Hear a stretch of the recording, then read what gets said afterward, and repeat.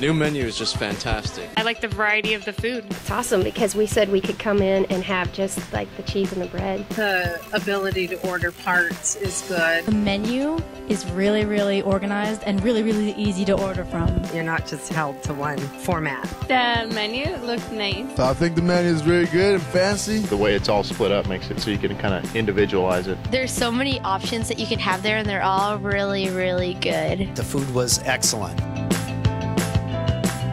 I love the dip sauces. The drinks, the yin yang is so delicious. The cheese fondue, fiesta cheese dip. Duck was really good. Yeah, the duck was good. The steak. Steak. Land and sea. The healthy choices. The vegetarian option. Chocolate. The dessert. We love the menu here. I definitely have a cheesy tooth. Sweet tooth. Sweet tooth. I have a sweet tooth. Chocolate is my thing.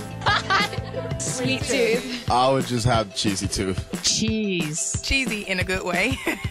I have a mouthful of sweet and cheese. Both, yeah. The appetizer. Good service. Service was lovely, but the chocolate was heavenly. The chocolate. Dessert. Dessert. Chocolate for three. Figure. Being with my family. Being without my kids and just my husband. Hanging out with my best buddy. I loved every everything. The taste delicious. Just stab him. he almost got stabbed tonight.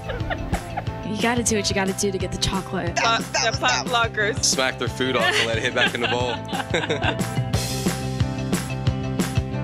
My fondue experience was Chocolate. Delicious. Amazing. Cheesecake.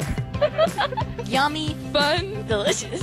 Delectable. Decadent. Creamy. Exciting. Fantastic. Yummy. Wonderful. Intimate. Mm. Magical. Fondue.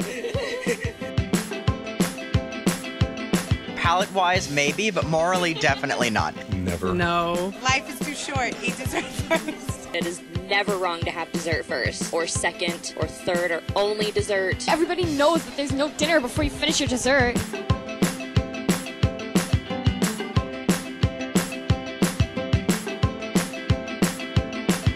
Is that fondue on your leg?